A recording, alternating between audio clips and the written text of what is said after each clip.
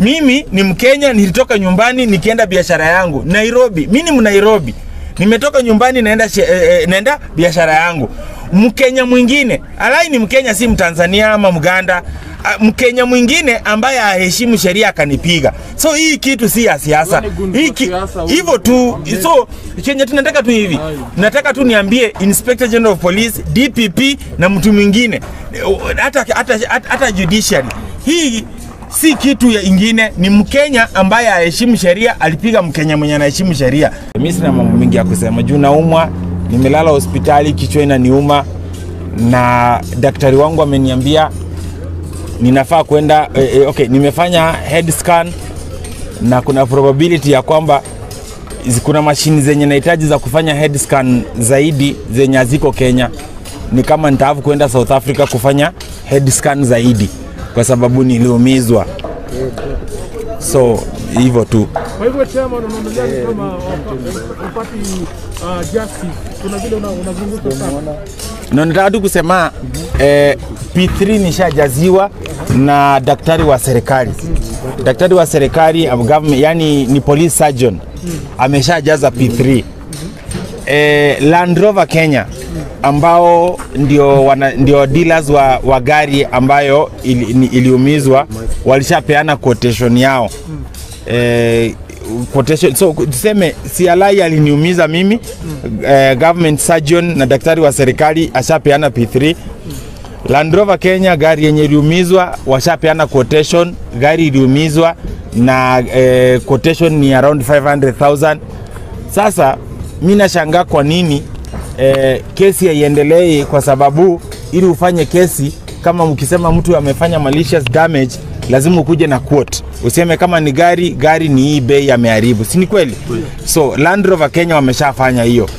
Daktari wa serikali, surgeon wa serikali ameshapeana P3 ni nini ingine inaongojewa?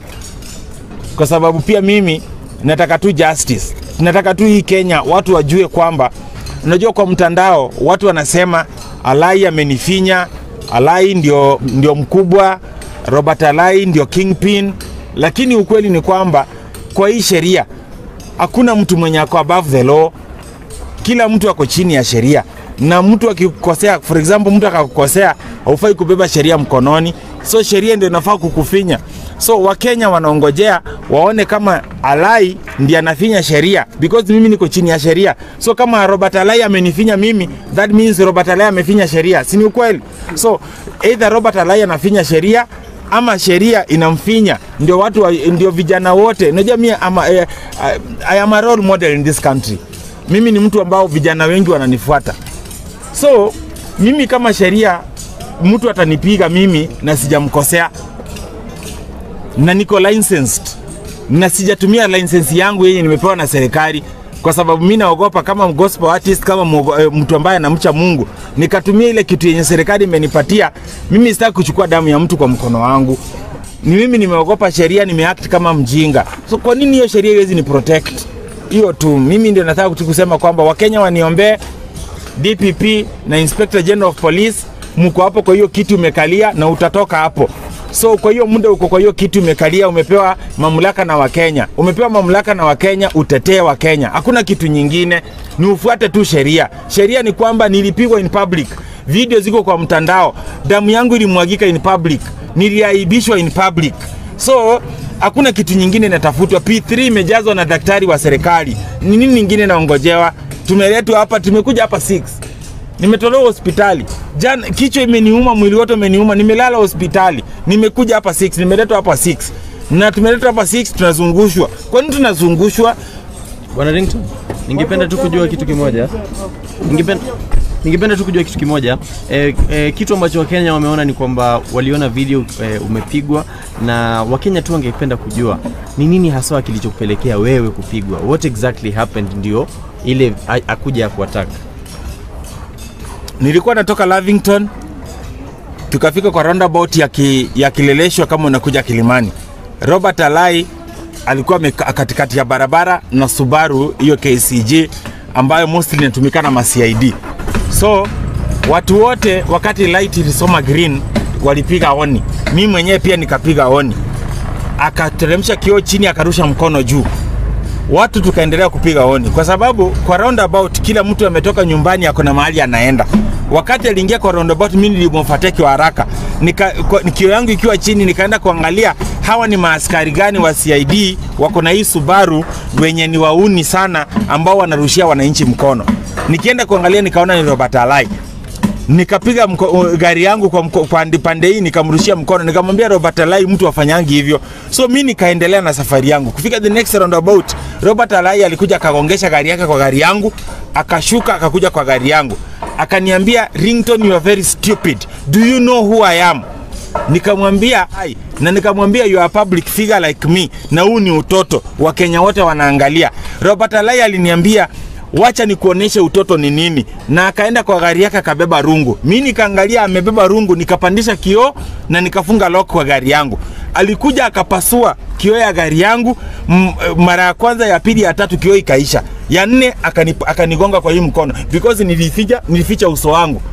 Mara ya tano akagonga akanigonga hapa na akanigonga hapa wananchi walitoka kwa hasira waki, wamama wakipiga nduru watu wote wakipiga nduru. Kwa sababu watu wako wanaona venye mtu unaweza shuka kwa gari yako uende uanze ku, kupiga mtu na rungu. So basically mimi nataka tu niseme hivi. Mimi niko tu chini ya sheria. Mimi naogopa sheria. Inspector general of police dpp wa kenya. Mahali huko saa hii dpp wa kenya. Siku zako ni chache kwa hiyo kiti inspector general of police siku, za, siku zako ni chache kwa hiyo kiti. Na kila siku ni utufanyie wakenya haki. Kama mimi basi niko na makosa nishtakiwe. Kwa hii kesi mimi nimeogopa sheria nimeenda chini ya sheria. Mimi nataka tu nifanyiwe tu haki.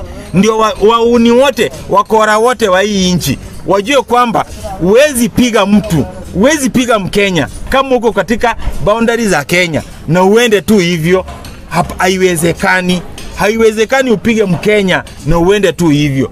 Kenya iko na sheria. Hivyo tu peke yake. Mimi naumwa na uh, mimi mwili wangu hauko sawa.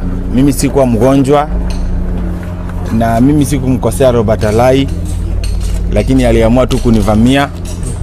Nikapandisha kioo ya gari wakati alikuja kunitukana kwa gari yangu na yeye akaona akuje na rungu apasue kioo ya gari akavunjavunja na akanifikia na akaniumiza. So mi nataka tu kuongelesha leo mimi kama mkenya mkenya tu mwenye mkenya wa kawaida nataka tu kuongelesha inspector general of police wa kenya. Nataka tu kumkumbusha kwamba kenya ni nchi ambayo iko na sheria. Nataka tu kuambia dpp wa kenya kwamba kenya ni nchi ambayo iko na sheria mi ninge, ningesema kwamba siku kesho rington nitaenda nivamie mtu. Nataka tu yeye atumie sheria. Nataka kuambia inspector general of police siku mimi kesho nitaenda nipige mtu. Nataka tu atumie sheria. So nataka mi nashangaa kwa nini kesi yangu inashinda inaenda inaenda inapelekwa wapi na wapi inazungushwa tu round. So mi nataka tu kusema nataka tu kuambia wakenya. Uh, wakenya sisi watu wa kawaida tusi lose hope ni kwamba bado mi naamini kenya ni nchi ambayo inafuata sheria. Hata kama ni mtu mkubwa hata kama ni mtu mdogo ukikosea mwenzako kwa kumpiga kwa kuchukua sheria mkononi lazima sheria itatumika. Alai saa hii anafanya tweeting ya mtandao ya serikali. Unajua ni kama sasa sijui niseme aje anafanya tweeting ya serikali kwa kutweet tu matweet. Ana tweet maybe serikali ndio kumtetea lakini haiwezekani. Daktari wa serikali ashapeana p3 hii haiwezekani. Hata wakapita chini ya maji lakini lazima alai asimame kotini. Kenya iko na sheria. P3 mimi niko nayo. P3 nimepeana kwa polisi. Polisi kisheria nikishapeana p3 yangu yenye imesainiwa na daktari wa serikali kwa polisi hakuna kitu nyingine.